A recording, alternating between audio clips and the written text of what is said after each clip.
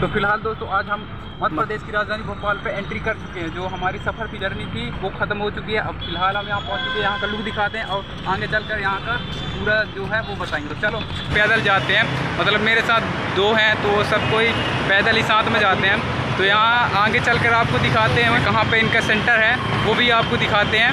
और फिर अभी तो जर्नी स्टार्ट है मतलब भोपाल पहुँच चुके थे यहाँ का जर्नी बड़ी बहुत ही मस्त है और अच्छा ही लग रहा है। तो फ़िलहाल चलते हैं और आपको दिखाते हैं। जो परीक्षा का सेंटर है दोस्तों बहुत यहाँ से दूर है लगभग बारह तेरह किलोमीटर दूर है।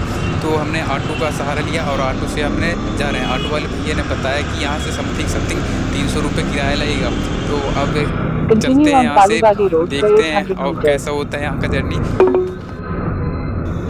तो सीधे यहाँ से हम सेंटर जाते हैं फिर उसके बाद लौटते हैं अपने रूम रूम की व्यवस्था करके। तो फ़िलहाल दोस्तों हम सेंटर पहुँच चुके हैं और यहाँ का लुक आपको दिखाते हैं।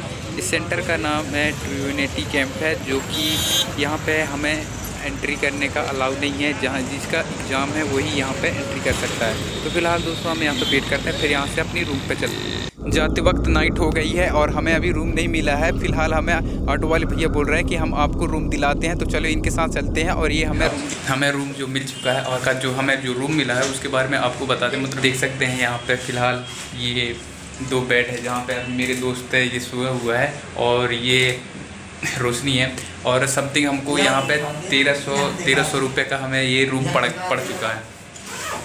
और ये रूम ख़रीदने में भाई बहुत ही झंझट झेलना पड़ा और आज की जर्नी तो मैं क्या बताऊँ? मेरे को तो समझ में नहीं आता, इतना ख़राब गया। अब फ़िलहाल रूम मिल गया तो थोड़ा रेस्ट करते हैं और थोड़ा आपको यहाँ रूम का लुक दिखाते हैं। और आपको बाथरूम में दिखाते हैं थोड़ा सा।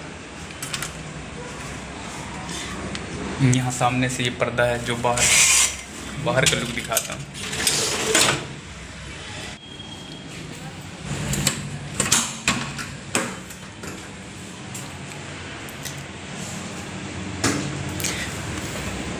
वैसे कहूँ तो दोस्तों यहाँ पे तेरह सौ रुपये में हमें रूम बहुत अच्छा ही मिल चुका है। मतलब बहुत ही अच्छा है, जिसमें से मध्य प्रदेश की राजधानी भोपाल पे आया था। फ़र्स्ट जर्नी हमारा था बहुत उसमें भी वो भी हमने ट्रेन से सफ़र की थी। और यहाँ पे आने के बाद हमको बहुत झंझट झेलना पड़ा। हमें समथिंग समथिंग करीबन यहाँ आए चार पाँच बजे हुआ था और हमको रूम मिले सात बजे। हमने सात बजे दिया और यहाँ पे रूम में जब रूम एडजस्ट कर रहे थे तो मतलब यहाँ पे बहुत मेल झोल हो रहा था क्योंकि एक लड़की हमारे साथ में थी मतलब हमारी सिस्टर साथ में थी तो वो मान ही नहीं रहे थे मतलब कि कुछ है, वगैरह वगैरह तो समझ ही सकते हैं। इस प्रकार से वो रूम देने में थोड़ी वो कर रहे थे तो फिर भी फ़िलहाल कैसे भी करके हमने रूम एडजस्ट कर लिया। तो अब यहाँ पे अपना रात बताएँगे और कल फिर यहाँ से निकलते हैं। मतलब कल हम उमरिया पहुँच जाएँगे। तो चलो, यहीं पे अगर अच्छा लगे तो वीडियो को लाइक करना, चैनल सब्सक्राइब कर लेना।